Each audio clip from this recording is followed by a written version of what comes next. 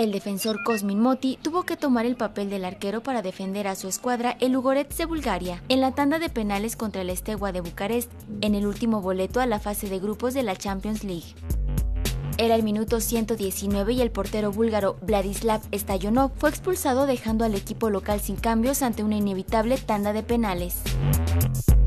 El nombrado ya héroe del equipo atajó dos penales además de anotar el suyo, con lo que obtuvo el triunfo de la escuadra búlgara y el pase a la Champions, donde estará dentro de los 32 equipos que entrarán al sorteo. Luego de un cerrado encuentro que llevó a los dos equipos a tiempos extras, donde tampoco se definió el marcador, por fin en tanda de penales el equipo búlgaro derrotó 6 a 5 al Estegua de Bucarest. El Universal Televisión.